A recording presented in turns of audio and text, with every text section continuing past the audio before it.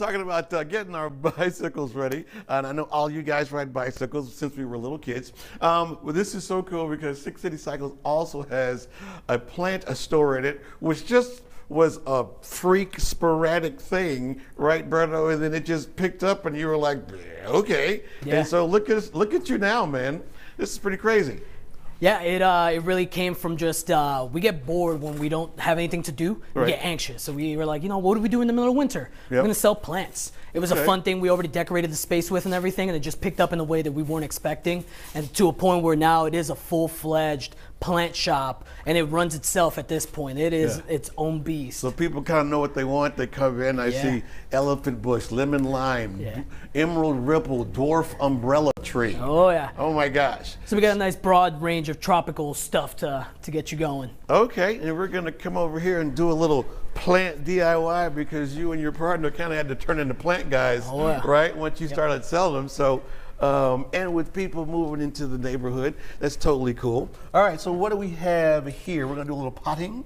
Yeah, so we're gonna take this Thai constellation. This is a little bit more of a rare plant, and it is very root bound. Okay. So the leaves are starting to yellow, and it's just ready to go into a bigger home. Mm-hmm. So we just kind of get this nursery pot out of there, and you'll see that at those roots roots, are uh, looking a little crazy because they don't have anywhere to go. Mm-hmm. So we're gonna go ahead and get this into a bigger pot. We're gonna get rid of some of these ugly leaves that are kind of just there Okay.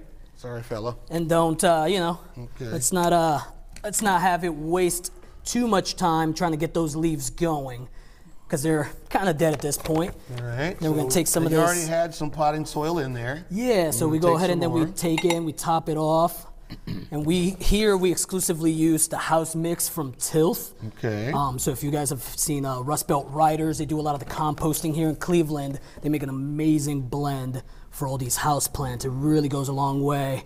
Has all the fertilizers and everything we need to So- really. Okay. So everything in one little in one little potting soil. Oh yeah. You got it all in there. Yeah, there it is. All right, voila, and then that bad boy is ready to go. Yes, sir. All right, and so then watering, and then what would you suggest? You know, uh, a watering schedule, a good watering schedule for this plant. Yeah, so something like this, a monstera is going to require. You want to keep the soil a little bit damp.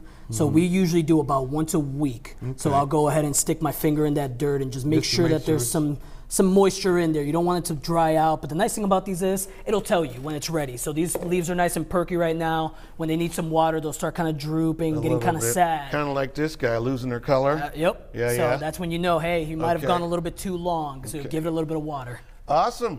All right, and here's our potting soil. That's that's some tilt soil.